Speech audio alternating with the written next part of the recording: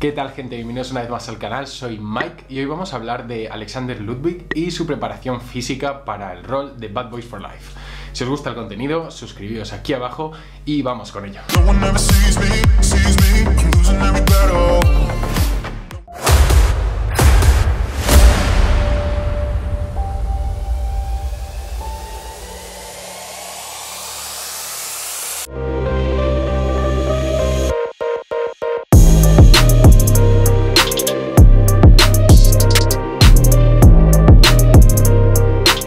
Alexander Ludwig, de 27 años, es archiconocido por su papel en Vikings como Bjorn Ironside, en el que hace básicamente del hijo de Ragnar Lothbrok, que sería el protagonista de la primera cara de la serie. Veremos mucho más de este actor en roles futuros porque se rumorea que va a hacer también de Hércules en la versión no animada de Disney, pero ahora mismo vamos a comentar la preparación física que ha tenido para el rol como Dorn en Bad Boys for Life en el que ha tenido que ganar una cantidad muy grande de peso y ha sido influenciada por dos personas en concreto. Por una parte, cuando el actor supo que se tenía que poner en forma para este rol, habló con La Roca, Dwayne Johnson, y le comentó que iba a eh, protagonizar, digamos, eh, este papel, que iba a realizar una preparación física exhaustiva, a lo que le contestó The Rock con, por supuesto, una felicitación pues, para empezar, pero le mandó también un plan de entrenamiento. Aparte de contar con The Rock para darle eso, algunos consejos, en este caso algún entrenamiento incluso, también contó con un preparador físico llamado Jorgen de May. Este preparador es muy recomendado por Jerry Bruckheimer, uno de los, la verdad, conocidos de la industria del cine. El entrenamiento que suele, digamos, pautar Jorgen de May es bastante variado en cuanto a que incluye influencias de distintas disciplinas, como incluye, por ejemplo, Pilates, pero habla de que es un entrenamiento siempre individualizado, que es un principio que nunca tenemos que olvidar para prepararnos físicamente en nuestro día a día. Comenta Jorgen de May en su página que el entrenamiento que él suele pautar tiene distintos pilares y que uno de los pilares que puede incluir son ejercicios pesados, básicos de fuerza, pero que incluye desde eso hasta digamos el extremo opuesto de ejercicios mucho más metabólicos como podría ser el entrenamiento en circuito. Si bien hay que aclarar que Jorgen de May dice que sin duda para él, en su opinión, las series de alta intensidad son muy necesarias para el cambio físico de los actores a los que prepara. ¿Qué queremos decir normalmente con este tipo de términos, ¿no? De las series de alta intensidad.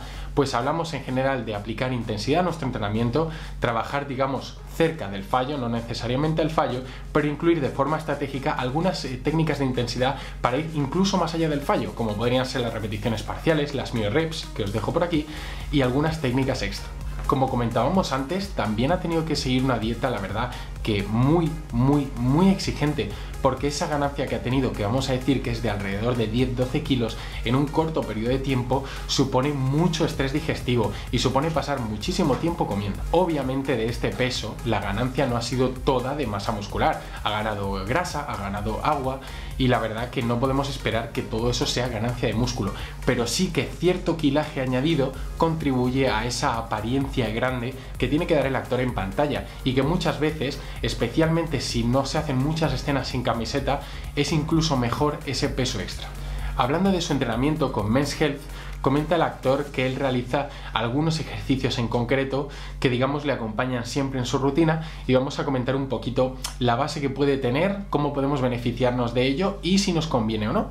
En cuanto al cardio que realiza el actor, realiza cardio de baja intensidad y digamos que larga duración en cinta inclinada. Él comenta que pone una inclinación muy alta, pero podemos ver, observando los clips que muestran en Men's Health, que se agarra a los raíles. Os quiero dar un consejo muy importante y es que si inclinamos la cinta, agarrándonos a los raíles le quitamos, digamos, los beneficios que tiene esa inclinación. Entonces es importantísimo que si inclinamos la cinta no nos agarremos a los raíles. Sí que es cierto que los raíles están ahí para aportarnos seguridad, pero eso solo hay que agarrarse si tenemos un accidente, si vamos a, estar inseguros de alguna manera.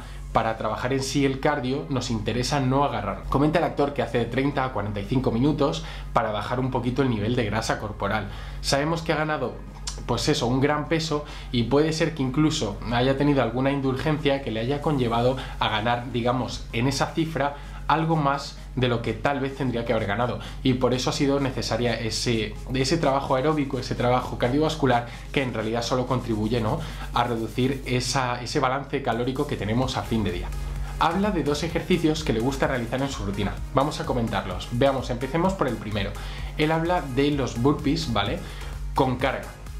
El burpee en general si tienes una buena técnica, es un ejercicio eficiente, es un ejercicio que la verdad que tiene mucho trabajo metabólico, es un ejercicio que es muy global, ¿vale? Trabaja muchos músculos al mismo tiempo, pero tiene sus limitaciones.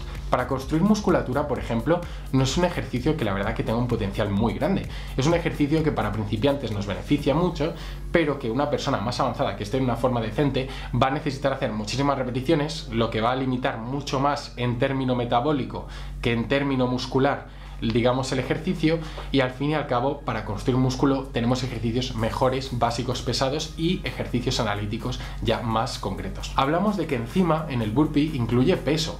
Esto podría aumentar el riesgo de lesión, especialmente si no estamos muy familiarizados con la técnica, pero es que además es totalmente innecesario meterle peso a este ejercicio, porque antes que meterle peso a este ejercicio, podemos meterle peso a ejercicios, digamos, que lo componen, como es un patrón de sentadilla o de salto vertical, o es un patrón, digamos, de flexiones. El actor también realiza elevaciones laterales a una mano, pero cuando realiza estas elevaciones agarra las dos mancuernas al mismo tiempo. Opino que tal vez podamos trabajar algo más lo que viene a ser la musculatura estabilizadora lateral, lo que viene a ser los oblicuos, si trabajamos ese lado, si queremos hacerlo unilateral, pero sin sujetar la mancuerna que nos estabiliza en el otro lado y entonces de este modo, como de todas maneras no vamos a utilizar mucho peso en ese ejercicio, no nos va a limitar la técnica, podamos realizar un trabajo extra y aprovechar más ese tiempo invertido en ese ejercicio. Las elevaciones de hombro para el deltoides eh, medio de forma unilateral son muy interesantes. Yo de hecho las comento en este vídeo que os dejo aquí, sobre todo sobre elevaciones laterales, y son un ejercicio que nos va a permitir trabajar de forma muy analítica, eh, percibir, digamos, y localizar muy bien la conexión mente-músculo en esa zona en concreto y además normalmente cuando trabajamos de forma unilateral, es decir, solo uno de los dos lados del cuerpo, podemos, podemos concentrarnos muy bien en la ejecución y en la contracción muscular. Por último, el actor comenta que desde hace muchísimo tiempo incluye una rutina típica de 8 minutos de circuito de abdominales. Esto es una forma, la verdad, que digamos que muy motivadora de trabajar el abdomen, porque es una forma en la que, como notamos esa quemazón, nos motiva, digamos que percibimos o asociamos esa quemazón con que estamos trabajando bien y en cuanto a, bueno, eh, tener esa consistencia y ser constantes con los ejercicios que hacemos puede ayudarnos. Ahora bien, si de verdad quisiéramos desarrollar bien el recto abdominal, bueno, los oblicuos, etcétera, Personalmente creo que un sistema por series tradicional, incluso con algunas series eh, pues eso, de alta intensidad, incluso incluir alguna super serie, pero que no todo el entrenamiento de abdomen fuera de circuito sería tal vez mejor, porque así nos permitiría trabajar con algo más de carga, teniendo un buen descanso entre series podríamos realizar una muy buena sobrecarga progresiva y trabajar en un umbral de intensidad que nos dé un buen crecimiento. No quita que el entrenamiento por circuito que hace de abdominales el actor es perfectamente efectivo, es perfectamente válido, solo que tal vez haya una forma mejor de hacer lo mismo. Espero que os haya gustado el vídeo, que os haya sido interesante, que incluyáis alguno de los consejitos estos que os he dejado en vuestras rutinas. Si os gusta el contenido, dejadme una manita arriba, ya sabéis que podéis suscribiros justo aquí. Y para más vídeos, os dejo este vídeo recomendado. Muchas gracias por el apoyo y hasta la próxima.